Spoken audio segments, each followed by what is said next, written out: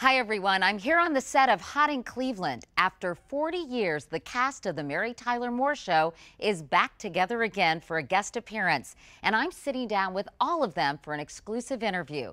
Valerie Harper, Cloris Leachman, Betty White, Georgia Engel, and of course, the one who could turn the world on with her smile, Mary herself. They've banded together to support Valerie in her courageous battle with cancer. Plus, the ladies dish on all the untold stories from the show that made TV history and made a lot of young girls want a career in TV news.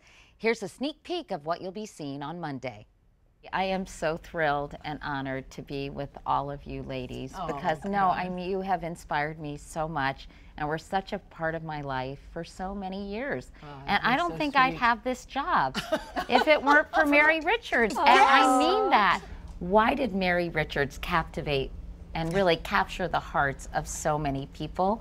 Like this person sitting right here. Thanks. I think it was because our writers um, wrote so honestly and with such love of comedy and yes. you know and their dedication to keeping the comedy real nobody says anything just for the sake of a joke i also think she was this rare combination of strength and and moxie, mm-hmm. but also vulnerability. Yes, yes. yes, yes. And Are you getting to sex pretty soon?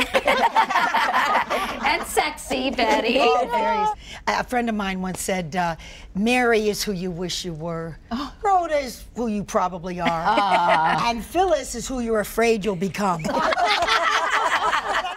The cast was so warm, welcoming, and of course, so much fun. As you can see, there's just something about Mary.